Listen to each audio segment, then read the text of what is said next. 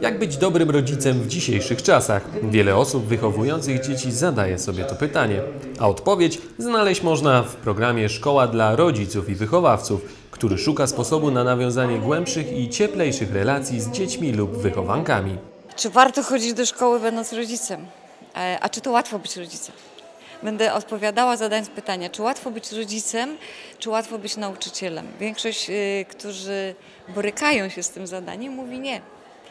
Y, I co najfajniejsze, jeszcze do zawodu nauczycielskiego to przynajmniej teoretycznie, nie do końca jest to dobre przygotowanie, ale się przygotowują ludzie. Natomiast do, do funkcji rodzica absolutnie nie. Tak jakby się wydawało, że z, rodzicielstwem my się rodzimy.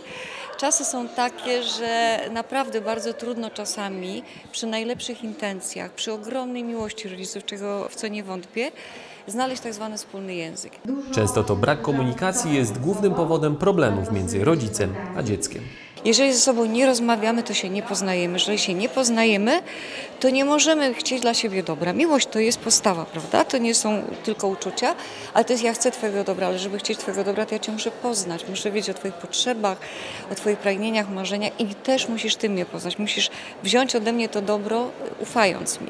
Jeżeli nie ma dialogu, nie ma porozumienia, to tego nie ma. To są obcy ludzie.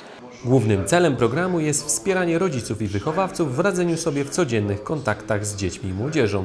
W trakcie zajęć rodzice uczą się umiejętności lepszego porozumiewania się, wymieniają własne doświadczenia czy też podejmują refleksję nad własną postawą wychowawczą.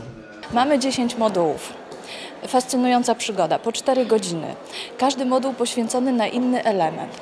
Począwszy, y, powiem Panu, od takich zagadnień jak budowanie granic, bo szkoła dla rodziców to nie tylko y, komunikacja z dziećmi, porozumiewanie się, ale też umiejętność stawiania granic, pokazywania dziecku, co może, co nie może.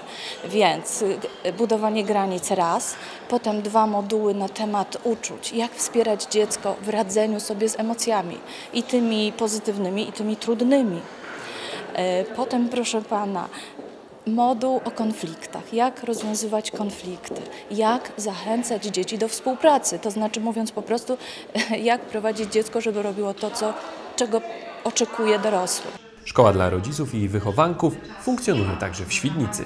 Macie tutaj w Świdnicy dwie fantastyczne koordynatorki, panią Ulę Larecką i Paulinę Rękas. One przy Ośrodku Pomocy Rodzinie czy Ośrodku Pomocy Społecznej w Świdnicy y, działają i, i, i tam można się z nimi skontaktować. Poza tym jest strona internetowa Szkoły dla Rodziców i Wychowawców, y, także można y, poprzez stronę skontaktować się i z realizatorkami, i z nami koordynatorami wojewódzkimi. Zapraszamy.